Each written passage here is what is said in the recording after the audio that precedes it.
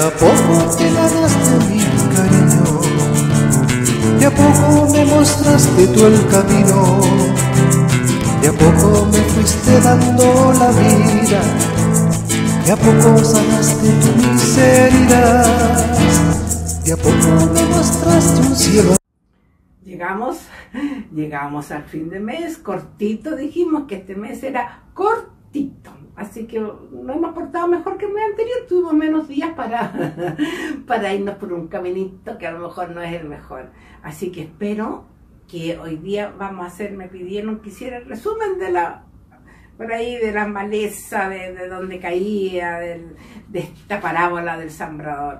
Hagan un resumen, hermana, para que nos ayude, porque fue muy buena, así nos va a ayudar a ver en qué estamos.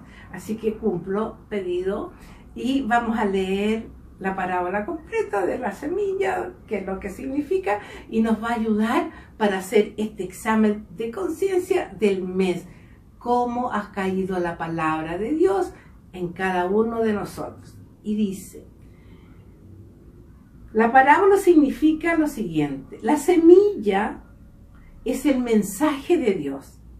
La semilla que cayó al borde del camino se refiere a los que oyen el mensaje, pero luego viene el diablo y les arrebata de sus corazones el mensaje para que no crean ni se salven.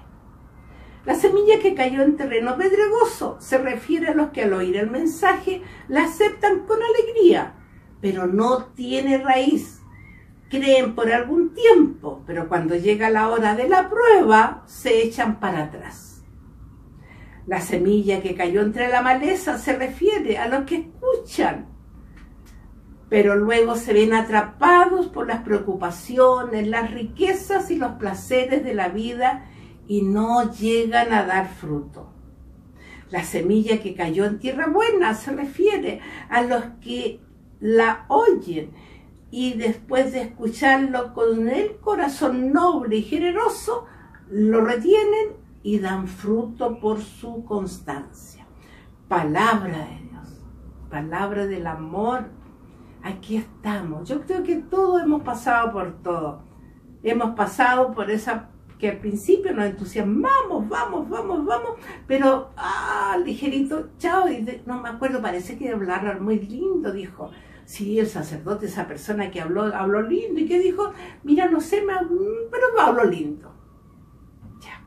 Ahí llegó a la orilla, ¿no es cierto? Al borde, se quedó Vino Satanás y chao, nos sacó todo. Pero seguimos. Después esa que cae en terreno perejoso que es pura tierra, puras piedras. ¿Ah? ¿Qué pasa? Llega la hora de la prueba y chao, no, no, no tengo constancia, la raíz no está bien en el cimiento. Después viene la maleza que me atrapa. ¿Y qué es la maleza? Los placeres, el dinero, ¿no es cierto? Las riquezas, las preocupaciones me envuelven, envuelven y no puedo dar fruto. Quiero dar, pero no puedo. Pero ahí después ese corazón bondadoso que recibió la palabra, lo hizo vida y dio fruto, fruto con todo lo que nos rodea. Así que hermano querido, hoy día, con este mes, veamos ¿Cómo está esa palabra? ¿Qué piedras tengo que sacar del camino para que la palabra salga? ¿Qué malezas tengo que cortar de raíz para que la palabra me pueda dar fruto? Así que tremendo trabajo, tremendo trabajo. A ver qué maleza, qué preocupaciones, qué riqueza, qué placeres me tienen ahogado que no puedo dar el fruto de la paz, del amor. Y esas piedras que no me dejan que esa palabra fructifique, que esa sabiduría de Dios me llene. Así que digámosle, Señor, haz de mi corazón esa tierra buena, bondadosa, para que tu palabra dé mucho, mucho fruto.